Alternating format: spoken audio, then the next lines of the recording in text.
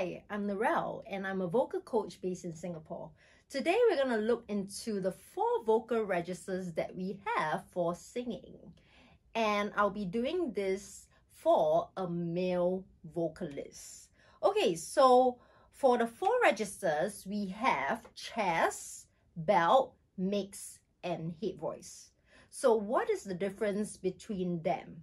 Okay, so if we look at the chest voice, we are looking at the lower part of your singing range. So if you're a male vocalist, you're looking at the range around maybe G2 to about G3. Okay, so probably uh, you can do like maybe to start off if you want to develop that chest, you can use like a vowel like ya, for example.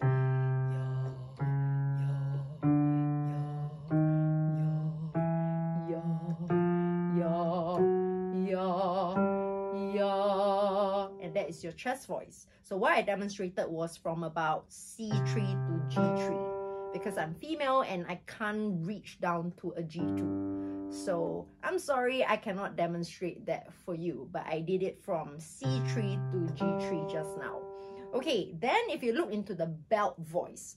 Okay, so what is a belt voice? Basically, it's a chest voice, okay, but it's higher up the range. So the pitch is higher okay? And you need to sing it in a very different vocal quality than a chest voice. That means you have to add in more power and more volume. So for an average male vocalist, you're looking at your belt range from about A3 to about D4 or E4. If you are an advanced vocalist, you can probably get up to F4 or even up to G4. So it depends on your ability. But on average, it's around A4 to D4. So I will show you that.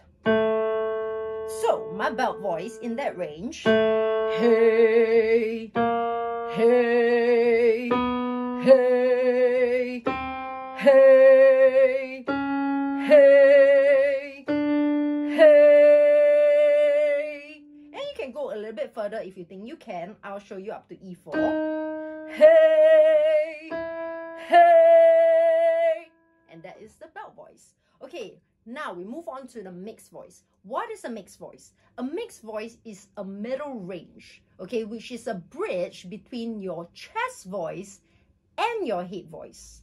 Okay, so when you work on a mix, okay, focus on the placement.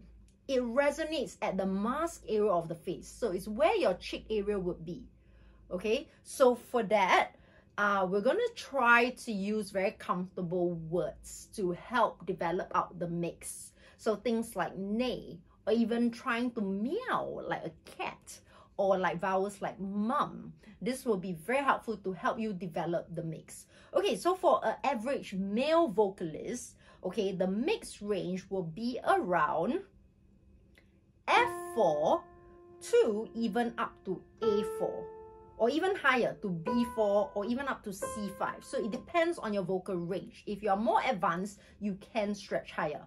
I'll just demonstrate something for an average male vocalist. So I'll do a mixed voice from F4 to A4. Neigh.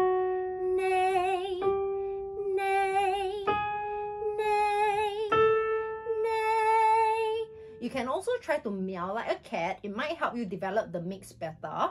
So you can try that. Meow, meow, meow, meow, meow. Or you can even try mum. Mum, mum, mum, mum, mum. And that is the mixed voice. Okay, let's go to the head voice. The head voice is your upper register, your upper range of your singing voice and think about it like classical styling. Okay, so the placement is at your forehead. Okay, so you aim it right here. And maybe for male vocalists, you're looking at around a range like A4 to maybe D5. Okay, and if you're more advanced, you probably can even go beyond, beyond D5, like maybe even to E5 and even to F5. For the demonstration, I'll show you from A4 to D5 in head voice.